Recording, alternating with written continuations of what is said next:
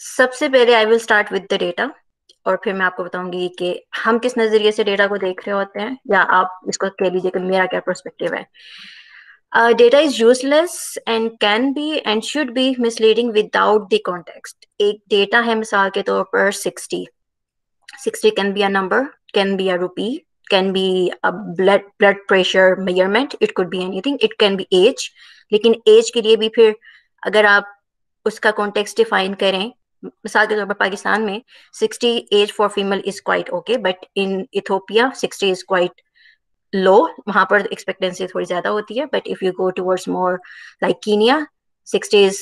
quite high like वहाँ पर इतनी एक्सपेक्टेंसी नहीं है लाइक 55 एंड 58 है। तो it's very important to define the context of the data as well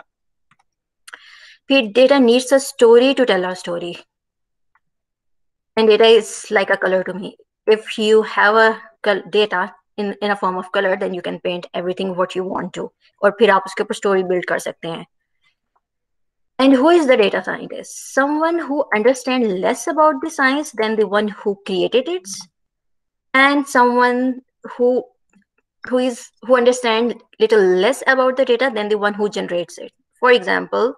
if you are coming from an industry,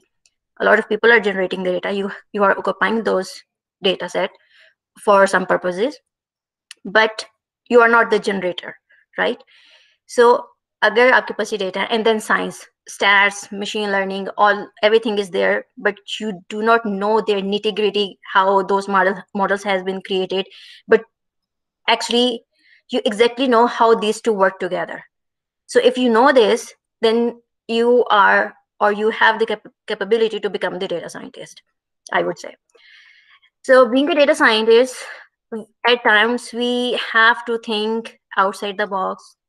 think inside the box, and at times we become the box as well to provide the solution for certain problem.